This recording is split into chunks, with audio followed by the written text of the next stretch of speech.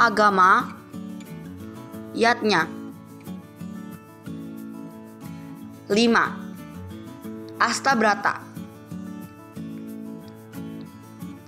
Astabrata adalah ajaran kepemimpinan yang diberikan oleh Sri Rama kepada Gunawan Wibisana sebelum ia memegang tumpuk kepemimpinan Alengka pura pasca kemenangan Sri Rama melawan keangkaramurkaan Rawana.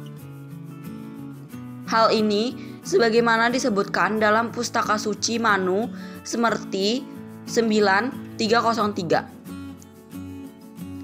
Astabrata ini merupakan delapan landasan sikap mental bagi seorang pemimpin. Adapun delapan bagian astabrata tersebut adalah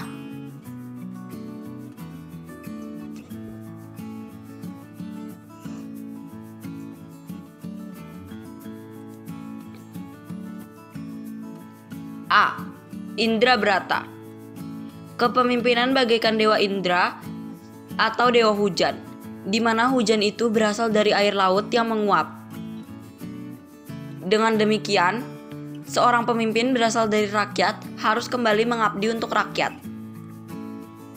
B. Yama Brata Kepemimpinan yang bisa menegakkan keadilan tanpa pandang bulu bagikan sang yang Yamadipati yang mengadili Sang Suratma.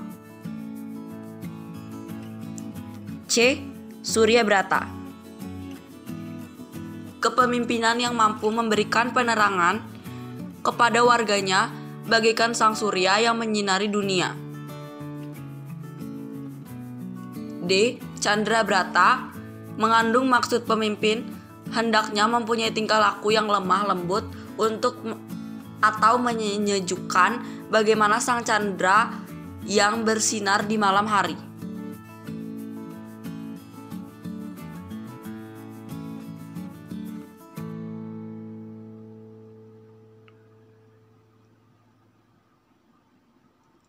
E. Bayu Brata Mengandung maksud pemimpin harus mengetahui pikiran atau kehendak. Bayu rakyat dan memberikan angin segar untuk para kawula alit atau wong cilik sebagaimana sifat sang bayu yang berhembus dari daerah yang bertekanan tinggi ke rendah. F.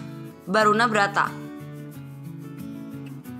Mengandung maksud pemimpin harus dapat menanggulangi kejahatan atau penyakit masyarakat yang timbul sebagaimana Sang Yang Baruna membersihkan segala bentuk kotoran di laut.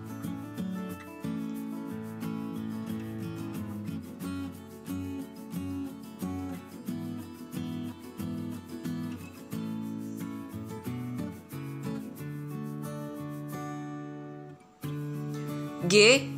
Agni Brata Mengandung maksud pemimpin harus bisa mengatasi musuh yang datang dan membakarnya sampai habis bagaikan sang yang Agni, Kuera atau Pratiwi Brata. Mengandung maksud seorang pemimpin harus selalu memikirkan kesejahteraan rakyatnya. Sebagaimana bumi memberikan kesejahteraan bagi umat manusia dan bisa menghemat dana sehemat-hematnya seperti sang kuera dalam menata kesejahteraan di kayangan.